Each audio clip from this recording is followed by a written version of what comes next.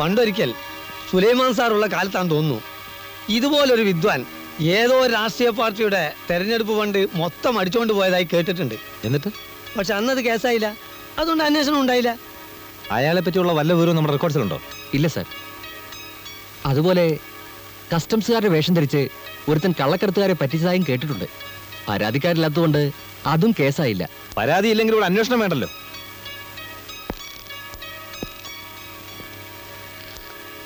പോലീസുകാരെ പരിഹസിക്കുന്ന കാണാൻ ഇവിടെ എല്ലാവർക്കും താല്പര്യം. എന്തു വന്നാലും നമുക്ക് അയാളെ പിടിച്ചേ പറ്റൂ.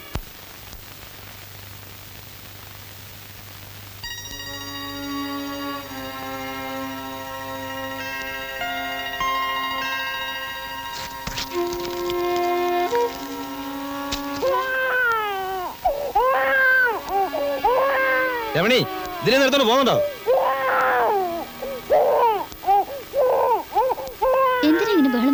പിന്നെ അല്ലാണ്ട് സ്വസ്ഥമായിട്ട് കാര്യം ആലോചിക്കാൻ സമ്മതിക്കില്ല എന്ന് പറഞ്ഞാൽ? ഹലോ ഗുഡ് ഈവനിങ് സർ ഞാനാണ് ശങ്കർ. അങ്ങനെ പറഞ്ഞാലേ മനസ്സിലാവും. ഒരു നന്ദി പറയാൻ വേണ്ടി വിളിച്ചാണ് സർ പറയാതെ തന്നെ കാര്യങ്ങൾ ഇപ്പോൾ വ്യക്തമായി കാണുമെന്ന് വിചാരിക്കുന്നു. എനിക്ക് വേണ്ടി കുറേ ബുദ്ധിമുട്ടുകൾ സഹിക്കേണ്ടി വന്നു അല്ലേ? ക്ഷമിക്കുക. നഷ്ടപ്പെട്ടയാൾക്ക് കംപ്ലൈന്റ് ഒന്നുമില്ലല്ലോ അതുകൊണ്ട് സാറിനൊരു പ്രശ്നം ഉണ്ടാവില്ല. ചെയ്തെന്ന സഹായങ്ങൾക്കെല്ലാം നൂറ് നൂറ് നന്ദി. ദൈവം സഹായിച്ചാൽ നമുക്ക് വീണ്ടും കാണാം. വെക്കട്ടെ? Good night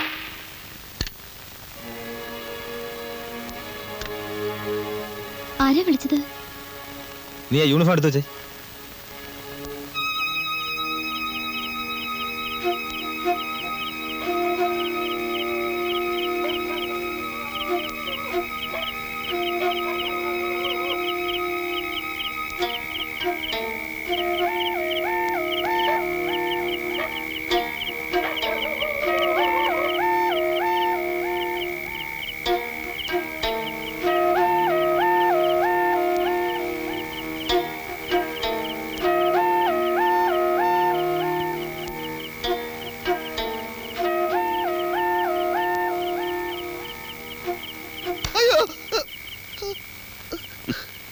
പേടിച്ചോ?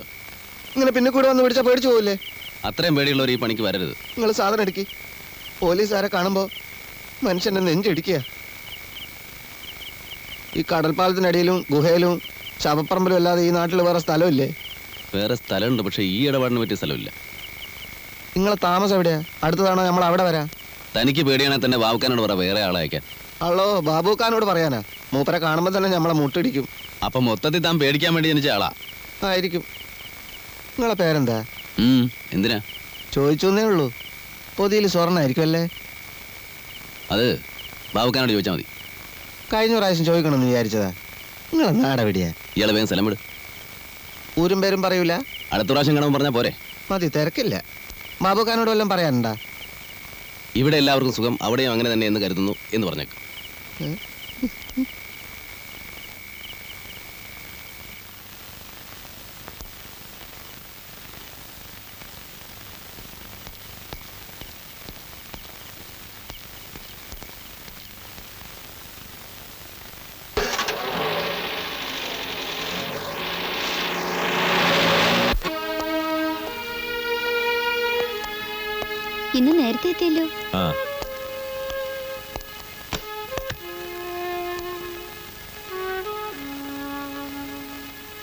എന്താ സുഖമില്ലേ?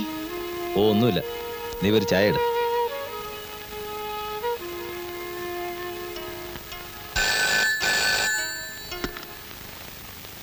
ഹലോ. ഞാനാണ് കൃഷ്ണൻ അമ്പലക്കാടൻ. എന്തു വേണം? അല്ല ചിലതൊക്കെ കേട്ടു. ശരിയാണോ? അപ്പോ അടി തെറ്റിയ ആനയും വീഴുമല്ലേ ഇതുപോലെ എന്തെങ്കിലും സംഭവിച്ചാൽ ആദ്യം എന്നെ അറിയിക്കണമെന്ന് പറഞ്ഞപ്പോഴല്ലേ അന്ന് നിങ്ങൾ എന്നെ ആട്ടി ഓടിച്ചത്? അല്ല അറിഞ്ഞതെങ്ങനെങ്കിലും ആവട്ടെ. പോലീസ് ഡിപ്പാർട്ട്മെന്റ് എന്ന് പറഞ്ഞാൽ ഒരു ഇൻസ്പെക്ടർ ശേഖരനിൽ മാത്രം ഒതുങ്ങുന്നതല്ലല്ലോ. ഏതായാലും സാർ ഇനി പലതും കേൾക്കേണ്ടി വരും. റാസ്കൽ നിനക്കൊരു പുല്ലും ചെയ്യാൻ പറ്റില്ലടാ. ഇനി എന്താണ് ആ സന്തോഷ വാർത്ത എന്ന് ഞാൻ പറയാം. നിങ്ങൾക്ക് വേണ്ടി ചിൽഡ്രൻസ് പാർക്ക് സംഭാവന ചെയ്ത അങ്കിൾ തന്നെ ഒരു ചിൽഡ്രൻസ് ലൈബ്രറിയും ഒരു ഗെയിംസ് റൂമും നമുക്ക് നിർമ്മിച്ചു തരുന്നു. പണക്കാരായ പലരും സ്വന്തം സുഖസൗകര്യങ്ങൾ മാത്രം നോക്കുന്ന ഇക്കാലത്ത് അദ്ദേഹത്തെ പോലെയുള്ള നല്ല മനുഷ്യരെ നാം ആദരിക്കേണ്ടിയിരിക്കുന്നു.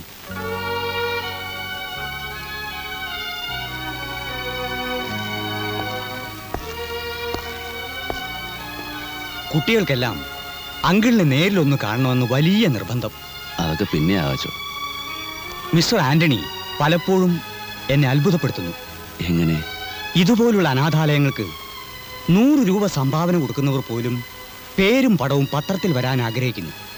പക്ഷെ എത്രയോ സഹായങ്ങൾ ചെയ്യുന്ന ആന്റണി സ്വന്തം പേര് പുറത്തു പറയുവാൻ പോലും മടിക്കുന്നു. വലത് കൈ കൊടുക്കുന്നത് ഇടത് കൈ അറിയരുന്നല്ലേ അച്ഛ പ്രമാണം? പേരെടുക്കാൻ വേണ്ടിയാണെങ്കിൽ സഹായമെന്ന വാക്കിന് തന്നെ അർത്ഥം ഉണ്ടാവില്ലല്ലോ. ശരിയാണ്. ഞാൻ മറ്റേ കർത്താവിന്റെ അനുഗ്രഹം എപ്പോഴും മോനുണ്ടായിരിക്കും.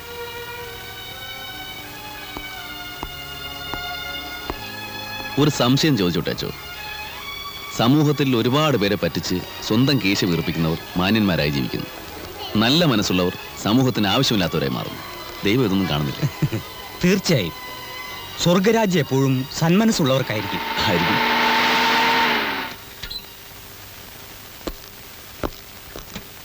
എന്താ പോലീസ് ഇവിടെ?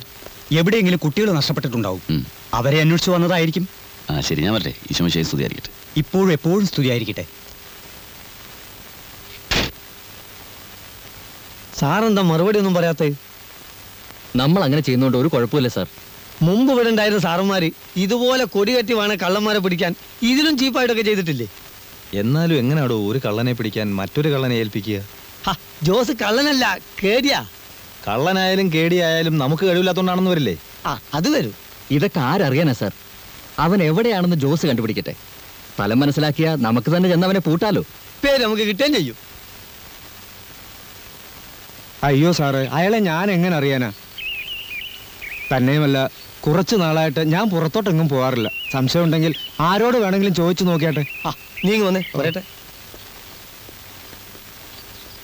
മാറ്റ രാവിലെ തന്നെ ഉണ്ടല്ലോ കൂടെ വന്നിരിക്കാൻ ആരാന്നറിയോ? അറിയാമേ അതാണ് ഞാൻ പത്തി ഒതുക്കി മാളത്തിൽ തന്നെ കൂടിയത്. ആദ്യത്തെ റൗണ്ടിൽ തന്നെ നെന്നും കൂട്ടിനും പൊക്കാനാണ് എന്നോട് പറഞ്ഞിട്ടുള്ളത്. ഞാൻ ഒരുത്തൻ ഇടപെട്ടുകൊണ്ടാ നീ ഇവിടെ കഴിഞ്ഞുകൂടി പോണേ. അതെനിക്ക് അറിയാം സാർ. സാറ് കുറച്ചധികം കാലം ഇവിടെ ഉണ്ടാവും. അതുവരെ നിനക്ക് ഇവിടെ അടങ്ങി ഒതുങ്ങി ജീവിക്കാൻ പറ്റുമോ അത് പിന്നെ പറ്റില്ല. അപ്പൊ അതുകൊണ്ട് നിന്റെ ഭാഗത്ത് നിന്ന് അദ്ദേഹത്തിന് കൂടി ഗുണകരമായ രീതിയിൽ എന്തെങ്കിലും നീക്കങ്ങൾ ഉണ്ടാവണം. ഭാവിയിൽ നിനക്കും അത് ഫെസ്റ്റ് ചെയ്യും. അതുകൊണ്ട് ഏത് മാളത്തിലുണ്ടായാലും അവനെ പുകച്ച് പുറത്തിയായിരിക്കണം. അത് നിനക്കേ പറ്റൂ. അത് ഞാൻ ശ്രമിച്ചു നോക്കാം. നോക്കിയാ പോരാ. നടത്തണം. എന്റെ പൊന്നു ജോസേ നീ ഈ പോലീസിന്റെ ചാരപ്പണിക്കൊന്നും നിൽക്കണ്ട. കള്ളൻ ഏതായാലും നമ്മുടെയൊക്കെ വകുപ്പൊന്നാ ഇൻസ്പെക്ടർമാര് മാറി മാറി വരും. പക്ഷേ നമ്മൾ ഈ തൊഴിലും കൊണ്ട് ജീവിക്കേണ്ടവരാ. തന്നെയുമല്ല അവരൊക്കെ വലിയ വലിയ നിലയെ കക്കുന്നവരാ. അവരെവിടെ നമ്മളെവിടെ? അയാൾ ആരാണെന്ന് അറിഞ്ഞാൽ മതി. ബാക്കി കാര്യമെല്ലാം ഞാൻ ഏറ്റു. അങ്ങനെ നമ്മളെക്കാൾ വലിയവനായിട്ട് ഇവിടെ ആരും വലസണ്ട. ചിലപ്പോ നമ്മുടെ തുരപ്പം വാസുമായിരിക്കും ഇനി. അവനിപ്പം വീറിലല്ലേ ജോസ് പറഞ്ഞ രൂപം ഭാവം വെച്ച് നോക്കുമ്പോ തോമസ് ആവാനാ വഴി. നിനക്ക് വല്ല ഭ്രാന്തുണ്ടോടാ? അവൻ ഈ തൊഴിലെല്ലാം നിർത്തി കല്യാണം എല്ലാം കഴിച്ച് പോണ്ടിച്ചേരില്ല നമ്മുടെ ചീങ്കണ്ണി എന്തോ ജയിലിൽ നിന്ന് ഇറങ്ങിയത് കേട്ടു. ഇനിയിപ്പോ അവനായിരിക്കോ? അവരെല്ലാം നമ്മുടെ പോലീസുകാർക്ക് നന്നായിട്ട് അറിയാം അവരാരും ആകാൻ വഴിയില്ല. അതും ശരിയാ. അപ്പൊ ആൾ തീർച്ചയായിട്ടും വരുത്തനായിരിക്കും. വല്ല ബോംബെന്നോ കൽക്കട്ടയെന്നോ? ആ എന്തായാലും ഞാൻ റെയിൽവേ സ്റ്റേഷൻ വരെ ഒന്ന് പോവാം. അവിടെ ആർക്കെങ്കിലും എന്തെങ്കിലും അറിയാമോ നോക്കാം. ഉം. ജമാലെ പോയ്. അവിടെ നിന്നേടാ. നിന്നെ ഞാനിത് എവിടൊക്കെ തിരക്കി? നിന്റെ ഉമ്മാടി ചോദിച്ചപ്പോ നീ മാർക്കറ്റിൽ പോയിരിക്കാന്ന് പറഞ്ഞു. മാർക്കറ്റ് മുഴുവൻ മഷിയിട്ട് നോക്കി നിന്നെ കണ്ടില്ലല്ലോ. മാർക്കറ്റിൽ നിന്ന് ഞാൻ നേരെ റേഷൻ പടിയിൽ പോയി. നിങ്ങൾ എവിടെയാ എന്നെ മനസ്സിലായില്ല? ഇല്ല. ശരി ബാ പറയാം. നിന്റെ ബാബുക്കാട് വീട്ടിൽ വെച്ച് നീ എന്നെ കണ്ടിട്ടില്ല? ഇല്ല. ആ. എന്നാ ബാബുക്കാട് പിന്നെ ചോദിച്ചാൽ മതി ഈ ജോസ് ആരാണെന്ന്. അപ്പം മൂപ്പര് പറയും ഞങ്ങൾ ബടാ ബടാ ദോസ്തുക്കളാ. ഇപ്പൊ മനസ്സിലായോ? ഇല്ല. ബാബുക്കയാ പറഞ്ഞത് ജമാലിനോട് ചോദിച്ചാൽ എല്ലാ കാര്യങ്ങളും അറിയാവുന്നു. പുതിയൊരു പുള്ളി ഇറങ്ങിയിട്ടുണ്ടല്ലോ സിറ്റിയിൽ അവനെ കൊണ്ടൊരു കാര്യം സാധിച്ചെടുക്കാനാ. അല്ല പത്തൊമ്പതിനായിരം രൂപ അവന് കൊടുക്കും. അതുകൊണ്ട് നിനക്കും ചില ഗുണങ്ങളൊക്കെ ഉണ്ടാവുന്ന കൂട്ടിക്കോ. എങ്ങനെ ആളെ ഒന്ന് കാണുക? നിങ്ങൾ ആരെ പറ്റിയാ പറയുന്നത്? എടോ എല്ലാ കാര്യങ്ങളും ബാബുക്ക് എന്നോട് പറഞ്ഞിട്ടുണ്ട്. നിനക്കറിഞ്ഞൂടെ ബാബുക്കായിട്ട് ഇടപാടുള്ള ആ പുതിയ പുള്ളിയെ? നീയല്ലേ ഇടനിലക്കാരൻ? നിങ്ങൾ ആരാ? ഇമാതിരി കാര്യം നിങ്ങൾ എന്നോട് പറയണ്ടാ ചേട്ടാ ഇവനെന്ത് മനുഷ്യൻ? പോട്ടെ. നിക്കടോ. സൂറയുടെ കുട്ടികൾ വിശന്ന് കരയുന്നുണ്ടാവും. ഈ അരി എത്തിയിട്ട് വേണം. ഈ പുള്ളിയെ നിനക്കറിയാമെന്ന് എനിക്ക് വളരെ നന്നായിട്ട് അറിയാം പറയടാ അവനെവിടെ കിട്ടും? ഞമ്മക്കറിയില്ല ബാബുക്കാനോട് തന്നെ ചെന്ന് ചോദിക്ക്. ബാബുക്ക പറയുന്ന പണി ചെയ്യാന്നല്ലാതെ മൂപ്പര് തന്നെ പറഞ്ഞിട്ടുണ്ട് മൂപ്പരുടെ ഭാര്യയോട് പോലും ഒരൊറ്റ അക്ഷരം മിണ്ടാൻ പാടില്ലെന്ന്. പോയിക്കോട്ടെ. നിക്കടാ അവിടെ. ദാ അവിടെ നീ പറയത്തില്ല അല്ലേ?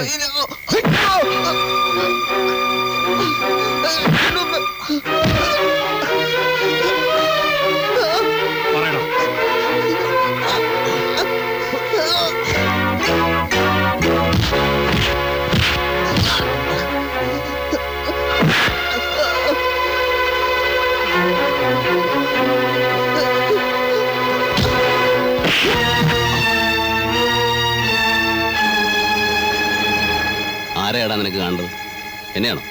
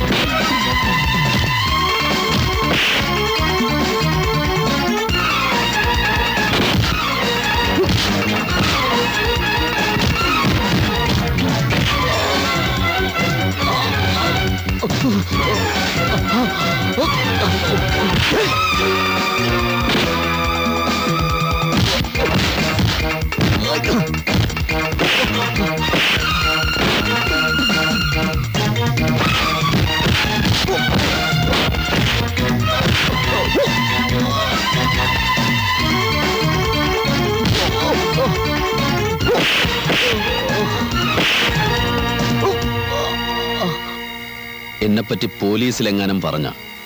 കളവ് കേസിന് മാത്രമായിരിക്കില്ല ഞാൻ ജയിലിൽ പോകുന്നത്? കൊലപാതകത്തിനൂടിയായിരിക്കും. നിന്നെ കൊന്നിട്ട്.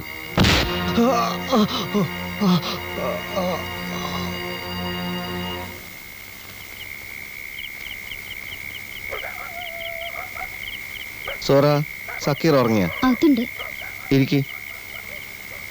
നമ്മളാ കുമാരന്റെ വർമ്മത്തെ തൈക്കുണ്ടിലൊന്ന് വീണ്. അരിയും സാധനങ്ങളൊക്കെ കുറെ പോയി. പെങ്ങളാ. തല്ലും പിടി ഉണ്ടായിന്ന് പറഞ്ഞാൽ ഉമ്മയും പെങ്ങളും വെറുതെ ബേജാറാവും. ഓലാളെയും കൂട്ടി വന്ന് ഇനിയും കുഴപ്പമുണ്ടാക്കുന്ന നമ്മളെ പേടി. ഇനി ഒരുത്തനും വരൂല. എവിടെയായിരുന്നടാ നീ? ചൂട്ട് കത്തിക്കാണ്ട് ഇരട്ടത്ത് വരെന്ന് പറഞ്ഞാൽ ഓന് തിരിയില്ല. വീണ്ടും മുറിഞ്ഞ? ഒന്നും പറ്റിയില്ല. ഉമ്മ ഇത് നമ്മളെ ദോസ്താ. ഉണക്ക ചെമ്മീൻ ഉണ്ടെങ്കിൽ കുറച്ച് ചമ്മന്തി ഇറക്കി ഒന്നും വേണ്ട. കഞ്ഞി കുടിക്കാൻ ഒന്നും വിടൂല.